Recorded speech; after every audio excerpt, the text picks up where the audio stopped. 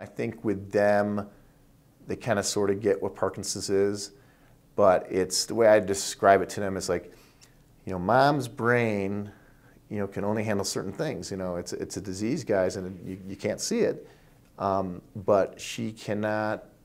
She often is challenged by doing multitasking, and again, multitasking is a big word for an eight and eleven year old, but I'll explain to them like, you know, you're you're asking your mom to do the laundry get something up, on, you know, look something up on the computer for you, as well as, oh, you know, can you can you help me with some math homework or something?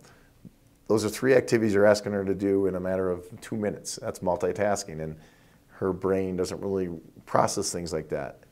Pick one, and I'm still this is still evolving process for us, but trying to educate them on um, what it, what Parkinson's might mean to them is that you know you know mom's not going to be able to help out with so many things so quickly. You know, we all want things done like that. Uh, we don't make a big deal out of Parkinson's, to be quite honest.